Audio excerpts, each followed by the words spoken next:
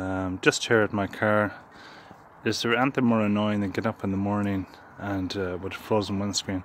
So a friend of mine uh, came up with a brilliant idea. He suggested uh, to rub in alcohol on the windscreen and then just mix with water. So some alcohol there. Um,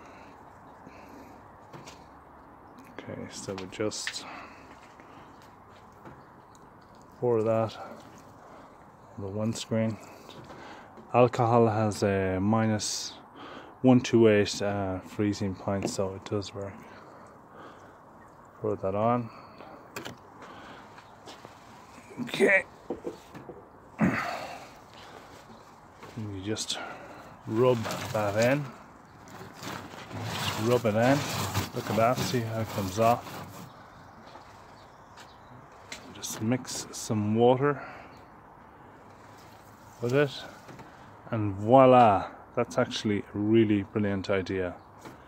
Alcohol, rub in alcohol and water.